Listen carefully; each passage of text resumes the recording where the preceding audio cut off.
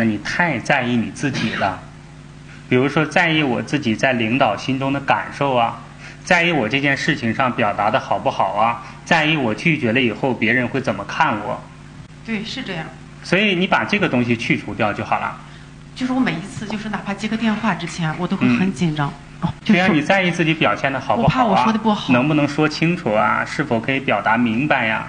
这些东西你要学会把它去除掉。嗯。就是你要一次一次的去践行，一次一次的从你的思维当中把这些东西抹除掉，不用去在意我在别人眼中到底是什么样子。当你把这些东西去除掉的时候，其实你可以变得非常的优秀和自信，就是你这个人一丁点儿都不缺乏力量。但是当你在乎别人的感受的时候，你的力量就打折了。就是做任何事情，我都想把这个好先放在前面，事情在后边，然后以后把这种思维改一下。我做这件事情，我就努力的去做。至于好与不好，仁者见仁，智者见智。有人觉得好，就会有人觉得不好。但是我自己努力而为之，问心无愧就好了。至于结果好与不好，不是我想出来的，也不是我求出来的，拿出来大家自己看。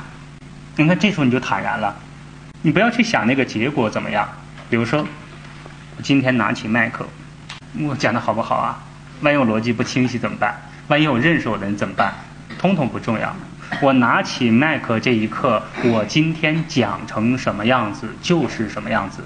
我想到了什么就讲什么。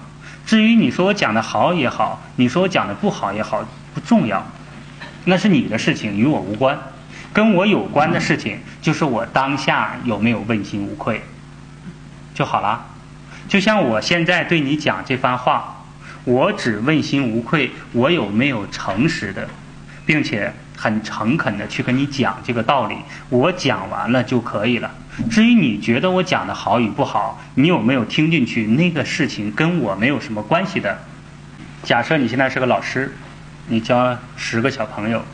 说我尽力的按照每个孩子的不同，我已经很问心无愧的跟他传授我的知识了。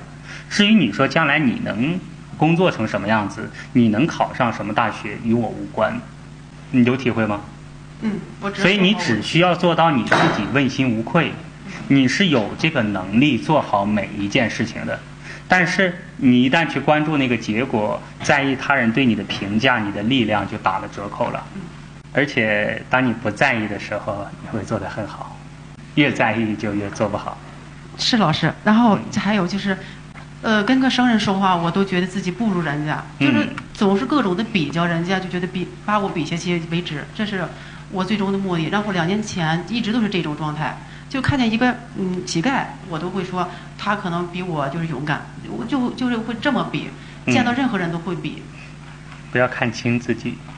是，然后就是慢慢听老师的直播，呃，思维上边有了很大很大的转变，就是起码我这幸福指数比之前感觉生活下去的那种勇气都没有了。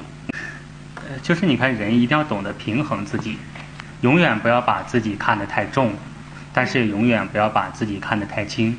永远不要把自己当回事儿，永远不要把自己不当回事儿，啊，你去把它找到一个中间的平衡点就可以了。嗯，所以又可以自信，同时又不傲慢。